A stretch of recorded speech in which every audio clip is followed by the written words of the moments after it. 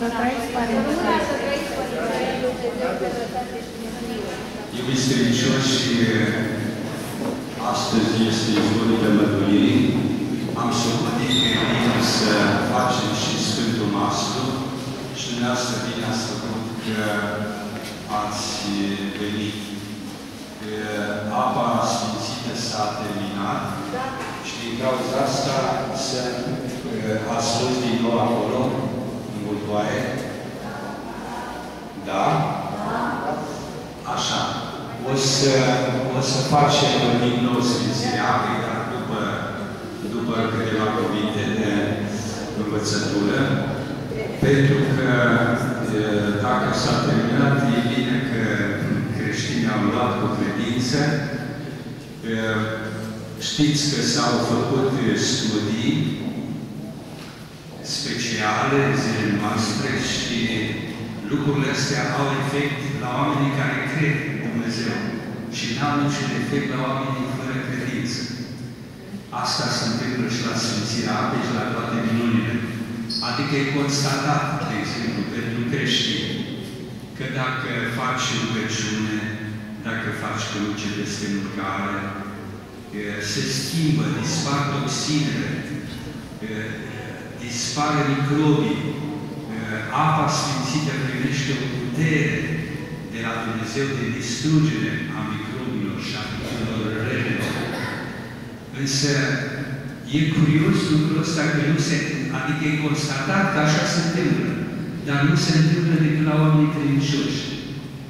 Și la rugăciune, când se roagă omul, s-a constatat la fel prin aparate că se liniștește trupul omului, mintea, Așa ca la un copil care lege și care stă la sânul mamei. Deci sunt niște lucruri extraordinare, dar, repetăm, aceste studii care s-au făcut sunt uh,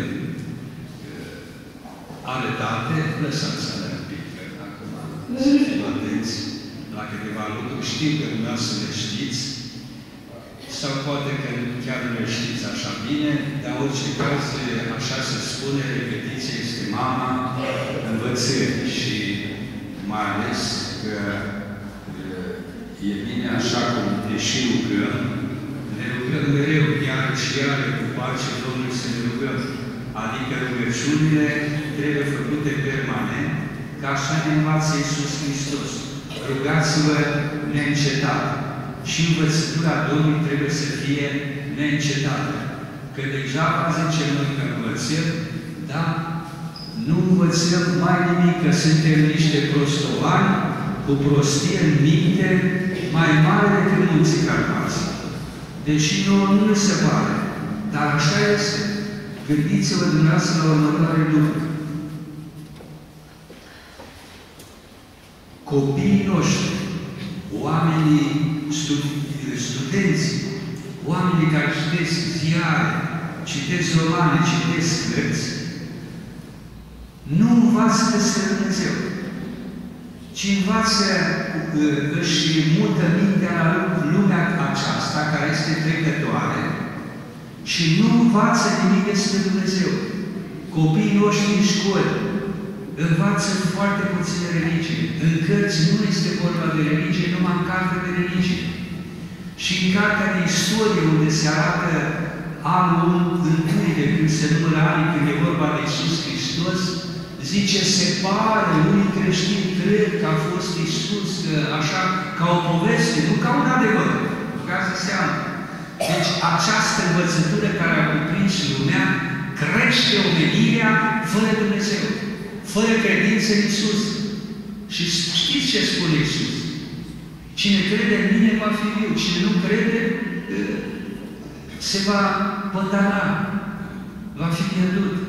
Din această cauză vreau să vă spun că nu ni se pare că facem nu știu ce, dar trăim într-o lume anticristă, fără Dumnezeu. Iar noi care venim la biserică, suntem studiți de ispite? Nu suntem studiți. Noi care venim la masă, mereu citim acele cuvinte din, din epistola către Corinteni, imnul iubirii. Că dacă aș avea credință și să urc munți, dar iubire n-am, Gândiți-vă dumneavoastră, unul care ar face minuni în lumea asta, să mute munții, să dea sănătate, să zboare până aer, să facă tot de minuni. Dacă nu-i dragoste, zero. Mai spune Scriptura, nu? Sau aveți o îndoială? Nu, că zici că te, uh, spune Iisus, și Iisus spune că mulți la judecată vor veni și vor zice, Doamne, n-am făcut minuni în numele Tău. Am alungat diavolul. În piețele noastre ai vorbit Depărtați-vă de la mine toți cei ce lucrați fără de legea, fără legea lui Dumnezeu. Iar noi nu aplicăm legea lui Dumnezeu totdeauna. Legea iubirii, că spune mai departe Apostol, și dacă mi-aș da Trupul, zis, să fie asta, adică să-ți dai și viața, dar dacă n-ai iubire față de om, nu te mântuiești, ești nimica. Dacă aș ști toată știința, oamenii de știință, și limbile, toate limbile, și limbile îngerești, dacă n-am iubire, sunt ca o țambar scomătos care face călăcie. nu e așa? Așa scrie. Scrie sau nu scrie? Scrie. Deci, esența credinței creștine este iubirea. Iar noi ne enervăm, noi judecăm, suntem gata de atac, gata de ură, gata de răzbunare, lasă că i are lui și așa mai departe. E bine? Suntem în afara legii Hristos și lucrul ăsta se întâmplă cu noi creștini și cei mai mari, așa de multe ori, ai surpriză, oameni care par buni, credincioși, așa. Ia zi ceva. Ia fă niște observații, fă o critică. Să vezi ce bun e. Imediat se roșește, face gălăgie, se enervează și așa mai departe. Nu e, fraților, nu este un creștinism autentic. Noi suntem la coada vremurilor și noi ne înfățărim cu credința. Adică avem o credință fariseică. Sigur că nu în general și nu totdeauna și nu fiecare, dar nu e așa că trebuie să ne vedem pentru lucrul ăsta. Că spune Iisus, credința, nădejdea și iubirea sunt cele mai mari. Dar și credința trece, pentru că acum cunoaștem în parte, dar dincolo vom cunoaște adevărul adevărat, văzut direct. Speranța la fel, pentru că vom vedea ceea ce sperăm, vom vedea dincolo. Dar iubirea trece peste moarte în veșnicie. De aceea spune Scriptura că uh, iubirea este cea mai mare virtute și că Dumnezeu este iubire. De aceea, neavând voi iubire, sau avem așa un început, ce ar trebui să facem? Să cerem de la Dumnezeu. Dar să cerem, Domnule, așa din toată inima, cu lacrimi, cu îngenunchie, pentru că, spun Sfinții Părinți, m-am rugat trei ani ca să-mi descopere Dumnezeu un lucru. Te rogi trei ani, nu? Trei ani te rogi. Maica Domnului, Părinții Maicii Domnului, toată viața s-au rugat să aibă un copil. Păi e puțin. E mare lucru.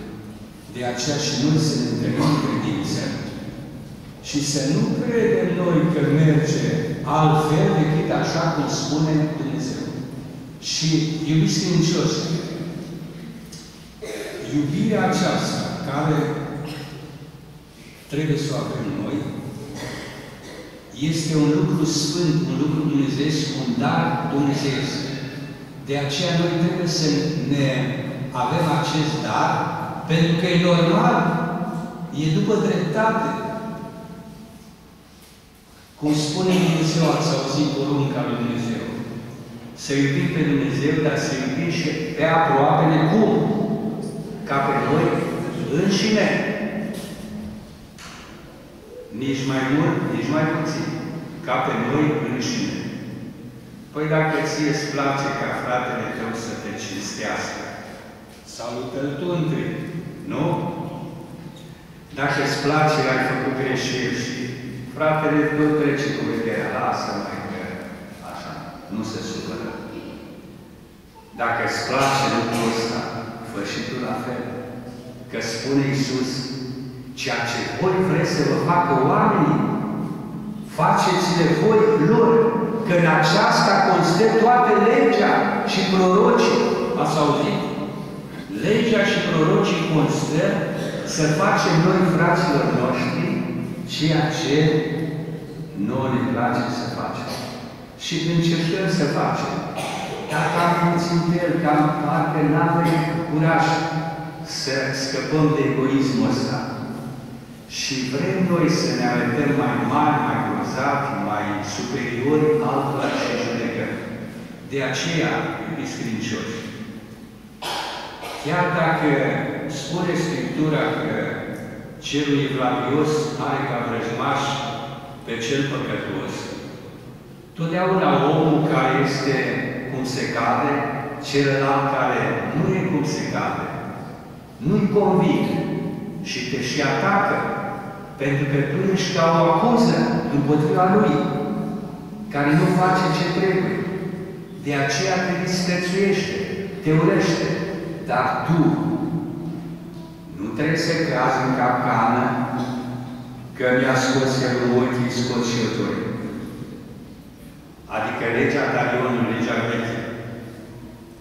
Ori pentru oi, dinte pentru dinte. Nu, în legea nouă, porunca este a iubirii și a iertării în ce sens? Îl iert ca să mă ierte și pe mine Dumnezeu. Îl iert pentru că dacă ne războim, din rău iese tot rău. Cineva trebuie să fie cu pace, cu bună înțelegere, cu iertare. Asta nu înseamnă ca vreodată să încetăm noi ca să ne rugăm pentru ceilalți oameni. Și când putem chiar să-i îndreptăm, să-i mustrăm, dar cu blândețe, spune Scriptura. Mustră prea aproapele tău cu blândețe, luând seama să nu cazi și tu în ispită, că toți putem cădea. Aceasta este legea lui Hristos. Legea iubirii. Dar în același timp, iubirea nu înseamnă să nu ajuți omul. Nu înseamnă să nu te rugi pentru el, cu rugăciune, cu o faptă bună, cu un exemplu. Pentru că și aici este o capcană, că diavolul caută să ne facă indiferenți. Nu mă interesează. Trebuie să te intereseze. Așa cum a făcut Samarineanul milostiv, că l-a văzut până la aproape mort, rănit de tâlhar și l-a îngrijit. Și spune Iisus, așa să faci și tu. Așa trebuie să facem și noi. Știa cine e omul ăla? Adică l-a judecat dinainte, mă, e bun, e rău, e bogat, e sărac, e negru, e alb, e chinez, e român și așa mai departe. Nu. Un om. Orice om. De aceea legea noastră creștinească este cu adevărat divină, dumnezească. Și legea, toate poruncile se cuprind în porunca iubirii. Este o mare capcană lucrul ăsta când noi urâm pe cineva. Și aceasta ne duce și la boală, la suferință. Băgați de seamă, sunt cercetări recente care arată că dacă stai mereu cu inima strânsă, cu ură, se îmbolnăvește fiecare, se îmbolnăvește creierul, se îmbolnăvește inima, sistemul circulator. Deci, lucrurile acestea care le facem noi, care nu sunt după legea lui Dumnezeu, vin împotriva noastră. Și noi înșine suferim din această cauză. De aceea, cerem la Dumnezeu iubire. Cum e psalmul la 50, care dumneavoastră știți foarte frumos, chiar mai bine decât mine. Eu mai mă încur la el, dar văd că dumneavoastră când îl ziceți toți, îl ziceți foarte frumos. Zicem acolo, inimă curată. Vedeți Inimă curată și Duh stăpânitor, mă întărește cu Duh stăpânitor, să avem Duhul lui Dumnezeu. De aceea, Iubiți credincioși, creștinismul este un har, este un dar la Dumnezeu, dar este și faptă, este și luptă a noastră. Ne luptăm și noi pentru a împlini poruncii Lui Dumnezeu. Așa încât fiți atenți la această capcană, în care de multe ori nu ne mai dăm seama și ne trezim târziu. Stai, mă, ce se întâmplă cu mine? Lasă-l, domnule, ai o contradicție cu cineva. Doamne, luminează și luminează-mă și pe mine. Doamne, ajută ca să nu se piardă omul ăsta din cauza mea și nici eu să mă pierd din cauza lui. Și când ai ocazie, îl saluți, îi vorbești frumos, treci peste toate așa ca și cum nimic nu s-ar întâmpla, pentru că suntem oameni. De aceea și neținerea minte a răului. Că zice noi în rugăciune, ne rugăm Dumnezeu care nu ține minte rău. E bine, nici noi nu trebuie să ținem minte rău. Aceasta este o lege divină care este spre fericirea tuturor oamenilor a întregii omenii, dar și a noastră. De aceea, răzbunarea, păcatul ce duce? Vedeți dumneavoastră, câte războaie și în prezent, războaie pentru petrol, pentru aramă, pentru aur, pentru nu știu ce. Acum, unii trimit uh, armament, nu? Ostași, război în toată regula. Alții, în prezent, duc alt război, numit război economic. Adică îți ia tot și te lasă uh, așa. E tot un fel de război și noi trebuie să ne luptăm pentru toate lucrurile acestea, pentru că așa vrea Dumnezeu. Credeți că Dumnezeu n-ar putea să facă o dreptate pe pământ, așa absolută și rapidă? Dar Dumnezeu ne lasă liber să vadă ce face și după aceea urmează judecata. Și în același timp noi vedem urmările răului, urmările minciunii, a hoției, pe care vedem noi că le suferim zi de zi. Și nu e cazul ca să le ascundem, ci să spunem lucrurile acestea lumii, ca să ia act și lumea, comunitatea internațională, în ce situație a ajuns România. Românii, popor blând și credincios, care crede în vorbele oamenilor, dar iată că una spun, alta fac. De aceea Iisus Hristos spune, după fapte veți cunoaște oamenii, după fapte. Gândiți-vă dumneavoastră ce frumos ar fi în această lume dacă țările fiecare n-au căutat, n-ar căuta să ia bogățimea altora. Că Dumnezeu a dat la fiecare popor, în fiecare țară, tot felul de daruri. Și ar fi pace, și ar fi bună înțelegere. Dar iată că sunt războaie. E o rușine extraordinară. După două miliarde de creștinism, să mai fie oameni care omoară altul. De ce să iei viața cuiva, Domnul? Cu ce drept? Nu se poate, aceste lucruri sunt barbare. Ne întoarcem înapoi în epoca de piatră. Nu se poate să existe în zilele noastre aceste lucruri. Dar aceste lucruri se pot îndrepta, se pot stopa într-un singur fel. Dacă credința creștină, principiile creștine ale vieții se răspândesc pe fața Pământului, între toate popoarele. De aceea, întărirea credinței este arma numărul unu pentru supraviețuirea omenirii. Vedeți dumneavoastră că dacă nu se luptă pentru adevăr și dreptate, omenirea întreagă va pieri. Ați auzit și dumneavoastră de poluarea atmosferei din cauza emisiilor de dioxid de carbon a unora care nu vor să semneze tratatele prin care atmosfera se poate, se poate salva. De aceea aceste lucruri sunt lucrurile cu care noi trebuie să ne luptăm. Că nu vom scăpa de rău decât luptând pentru bine.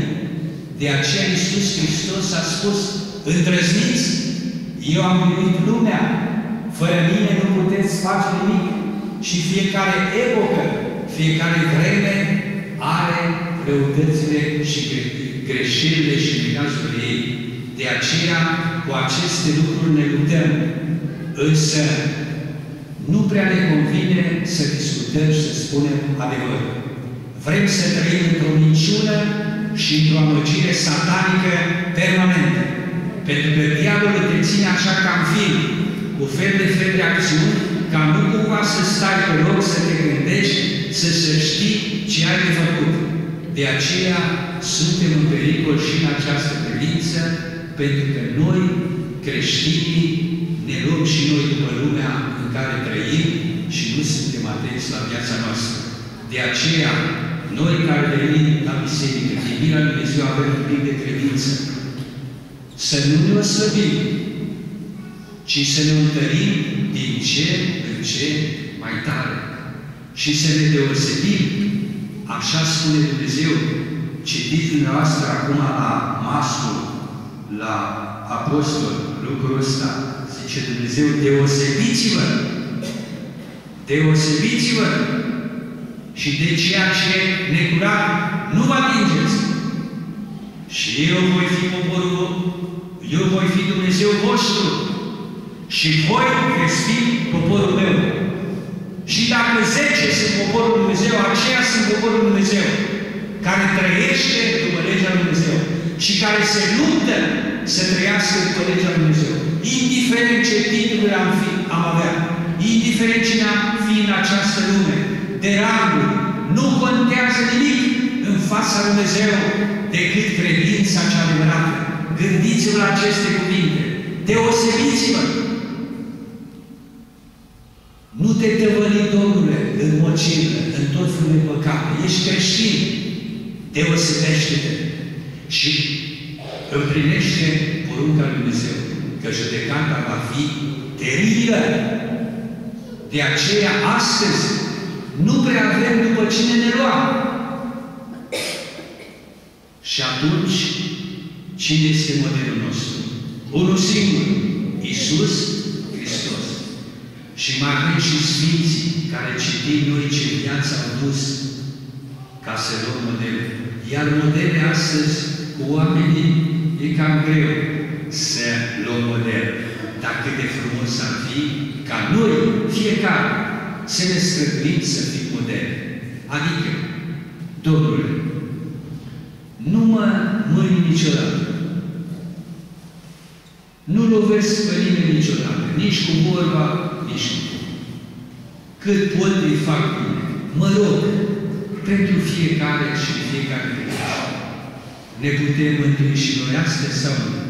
Ne putem, dar nu ne luăm după lume, nici după unele impulsuri ale noastre, că suntem oameni și suntem aplicați spre rău, ci ne luptăm zi de zi, ceas de ceas. Iubiți credincioși, mare este bucuria noastră și a îngerilor, când dumneavoastră veniți cu drag la Sfânta Biserică, să ne rugăm aici pentru toți, pentru noi toți, pentru toți cei pomeniți, pentru că lupta este din ce în ce mai mare. Însă trebuie să știm că și ajutorul lui Dumnezeu este din ce în ce mai mare. Că dacă ești atent, Dumnezeu nu te lasă. Te ajută. Așa spune că sunt creștini. Ca loviți, dar nu nimiciți, ca neavând nimic sau foarte puțin, dar toate stăpânindu-le aceste creștini. Că dacă ești creștin și ești cu Dumnezeu, ai tot, iar dacă nu ești creștin, n-ai nimic. Și iubiți credincioși, așa ne amăgim noi, așa se amăgește tineretul, că îi vede pe acești oameni puternici, bogați, care fură, jefuiesc, mint, lovesc, curvesc, fac toate relele și le merge foarte bine. Și ce zice eu? Păi așa poți să trăiești viața plenară dacă faci aceste lucruri. Dar nu e așa. Toate acestea se plătesc. Vă spunea și altă și vă repet și asta acum. Noi avem în istorie, învățăm de moșii strămoșii noștri și de familii bogate, din istoria literaturii, istoria văcărești sau tot felul de neamuri din acestea. Unde sunt astăzi? Mergeți în cimitir și vedeți darea cimitire morminte cu flori, cu sculpturi, cu uh, tot felul de minuni acolo. Și vezi că crește urzica și mărăcini acolo. De ce? De ce? Și vezi un mormânt în care o cruce înnegrită de vreme din lemn, cu niște floricele curate, cineva lucrează acolo, cineva își amintește, se roagă. Păi de ce la ăia bogați nu mai e nimeni? Spuneți-mi. Aceasta, acesta este adevărul. Dar nu se vede direct, ci se vede numai la omul care gândește, care analizează lucrurile. De aceea când spune Iisus, eu sunt calea, trebuie să fim convinși că nu există altă cale spre rai, spre viața veșnică, spre sănătate, spre veselie și bucurie decât una singură, și anume ceea ce ne învață Domnul Iisus Hristos. De aceea, cu bucurie, cu dragoste, să citim Cuvântul Dumnezeu, să punem la inimă și să ne luptăm și să facem. Așa ne putincioși cum suntem noi. Așa ne găjiți cum suntem noi, să fim încredințați că nu ne lasă. Așa spune Dumnezeu. Nu te voi lăsa. Nici nu te voi părăsi. Oare poate mama să uite pe copilul ei? Spune Dumnezeu. Cea mai mare iubire pe pământ este între mamă și copilul care îl naște. Zice, chiar dacă el ar uita, eu nu te voi uita, nici nu te voi părăsi. Nu părăsește și nu uite Dumnezeu pe nimeni, nici pe noi, oricare am fi noi, dar nici o ființă umană pe fața Pământului. Este un adevăr. Însă Dumnezeu, așa ca și părinții, caută să ne aducă la adevăr, la libertate, la bunătate, în fel și chip. Că Dumnezeu vorbește în multe feluri, așa cum este scris în Scriptură, omului ca să ne îndrepte, ca să aibă viață veșnică. Pentru că acesta este adevărul că suntem nemuritori. Nenorocirea poate fi că după moarte putem să ne merim în iad. Și Iisus Hristos spune de mai multe ori, care aveți răbdare, citiți din Noul Testament și căutați de câte ori vorbește Iisus Hristos despre rai și iad. Că mulți spun, nu e adevărat. Este adevărat, fraților. Există în ei aceste învățături noi în omenirea de astăzi care spun, nu, domnule, Dumnezeu e bun, Dumnezeu ne iubește, nu ne pedepsește, nu există ea. Păi dacă Iisus zice că există, și dacă spune mai multe lucruri, și dacă spune că e vorba de chin veșnic, unde va fi scrâșnirea dinților și focul nestins, păi înseamnă că nu este. Adică avem noi pe cineva, altcineva, pe fața Pământului, ca să ne învețe în locul lui Iisus? Nu! Ci diavolul, prin oameni. Ce a spus diavolul lui Adam și Eva? Nu veți muri, veți fi ca Dumnezeu. Ce spune diavolul? Astăzi, dar în alt fel, prin aici, urechile acestea religioase noi. Nu o să fie, nu ajunge în ea. Nu, Dumnezeu e bun, te iubește. Nu, fraților. Aceasta vreau să vă spun că e, noi trebuie să fim atenți la aceste lucruri și la aceste amăgiri, că este rai și este iad. Și nu pe pământ. Pământul este un fel de anticameră. Sunt și pe pământ suferințe, dar nu ca iad. Sunt și pe pământ bucurii, dar nu ca rai. De aceea, acestea sunt numai niște prefigurări a unei lumi care va să fie.